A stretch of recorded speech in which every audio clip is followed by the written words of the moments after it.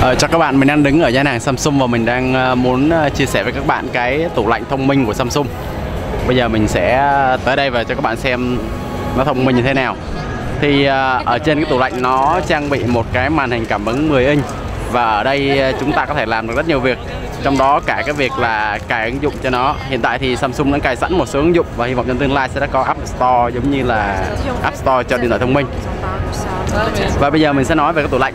Trước tiên thì à, chúng ta thấy cái biểu tượng wifi ở đây. Cái tủ lạnh nó được kết nối vào internet và nó có loa và nó có báo đá rồi điện rồi đèn luôn.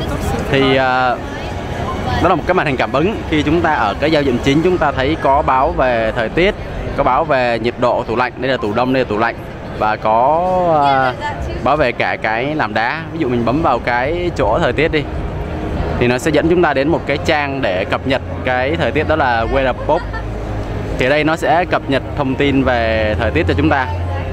Mình quay lại. Và về, đây là mình à, mình truy cập vào cái à, cái cái à, điều chỉnh độ lạnh của ngăn đá cũng như ngăn chứa, ngăn tạo đá của những trái cây.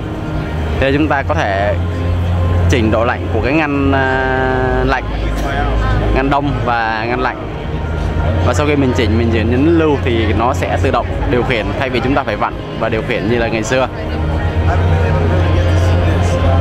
Ở bên cạnh này chúng ta có cái máy làm đá. Thì ở đây nó có cho chọn đá lớn và đá nhuyễn.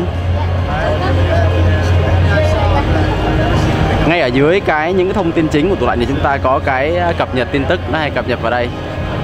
Chúng ta có thể bấm vào đó để chúng ta coi thêm thông tin tin tức mới.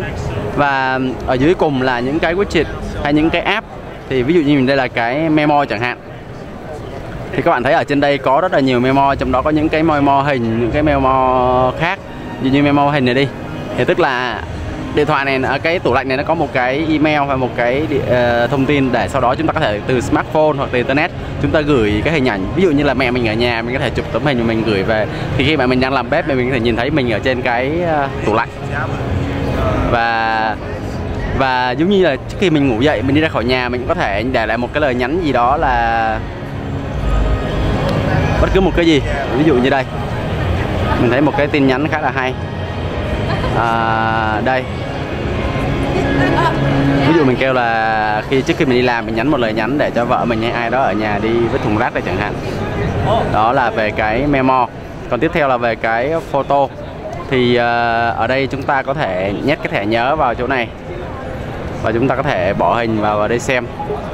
Rồi chúng ta có thể xem được bằng à, uh, Picasa hay là những cái uh, dịch vụ khác trong tương lai nếu được cập nhật.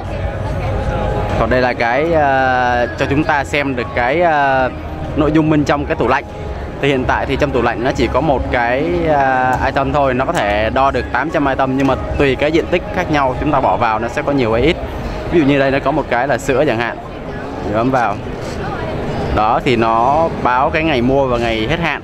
Thì cái ngày mua và ngày hết hạn được à, làm khi chúng ta thêm vào.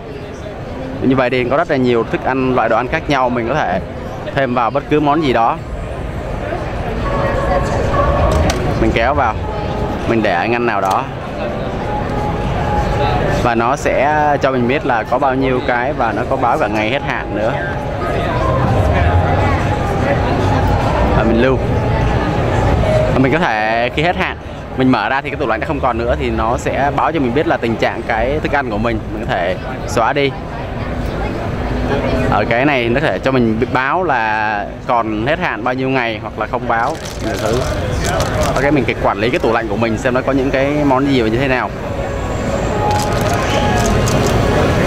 Đây, mình coi xem cái này là cái gì à, đây là cái ứng dụng mà chúng ta lên và chúng ta xem những cái uh, hướng dẫn nấu ăn nó được kết nối vào cái trang này. Mình không quan tâm đến cái ứng dụng này. Cũng khá là hay cho những người thích nội trợ. Và đây là lịch làm việc. À, tủ lạnh này chúng ta có thể xem cái lịch làm việc được. Chúng ta có thể login vào account của Google. Và mọi người đều có account Google và chúng ta chúng ta theo dõi lịch của chúng ta.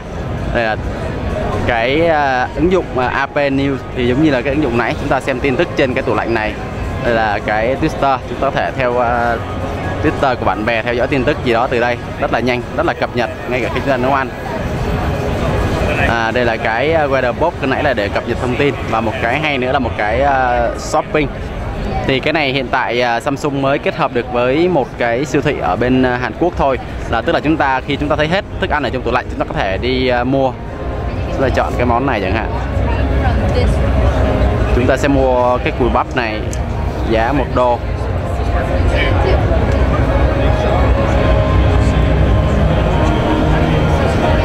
Chúng ta chọn bằng cách thanh toán thế là xong, rất là tuyệt vời. Và bởi vì cái tủ lạnh nó được nối với internet, đâm ra nó có thể là như là một cái remote, một cái tivi di động đối với cái tivi smart tv samsung ở nhà, chúng ta có thể chuyển kênh hay là tăng âm lượng và xem cái nội dung ngay tại cái uh, tủ lạnh này. Nó cái màn hình ờ, 10 inch 2 này nó sẽ chừa một phần để mà xem tivi bây giờ đang xem tivi từ cái một cái tivi khác của samsung. Và cái bên là có một cái washer với dryer tức là cái máy giặt và máy sấy. Thì cái tủ lạnh này nó có thể kết nối với lại cái máy giặt thông minh của Samsung ở trong nhà bạn. Hai cái máy nó được kết nối internet và được wifi thì nó có thể các bạn có thể đứng ở tủ lạnh và điều khiển cái máy giặt dĩ nhiên là các bạn phải bỏ quần áo vào rồi. Rất là hay. Đây là một cái ý tưởng rất tuyệt vời của Samsung. Hy vọng là trong tương lai chúng ta sẽ có những cái tủ lạnh với những cái uh, uh, hệ điều hành và những cái có thể cài phần mềm và có thể điều khiển được tuyệt vời như vậy.